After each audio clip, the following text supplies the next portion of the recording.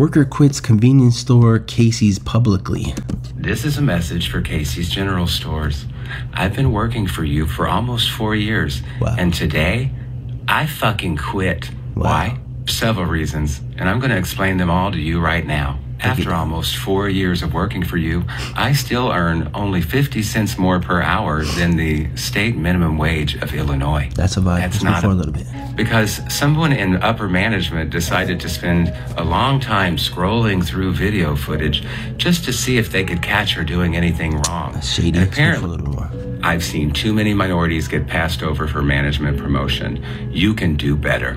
And don't think I haven't noticed how you keep jacking up the price on the Newports and the Swisher Sweets either. the black people let's move in our a little community side. You don't even put recycle bins for your customers to use.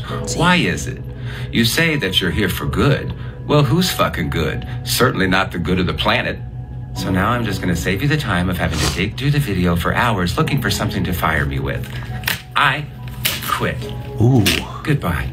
The aggressive Hulk Hogan at the end there just like ripped the shirt off. He got very aggressive at the end.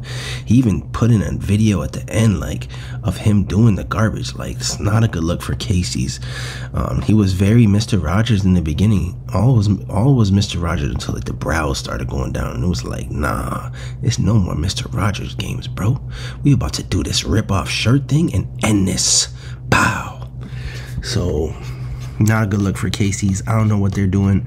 They they raising up the price on Swisher Sweets. He recognizes that. Um, that's a vibe. Um, let me know how you feel. Sign off in the comments and I'll see you next video. Peace. If you want to continue on the Doobie Duke Sims experience, check out my clothing brand Snow Milk. My clothing designs on the top. These are all pieces I personally picked from the thrift store and put the vibration on. Click the link with the sweater. Also, check out one of my songs below. Would love to know what you think about it. Hit me in the comments. See you in the next video. Peace.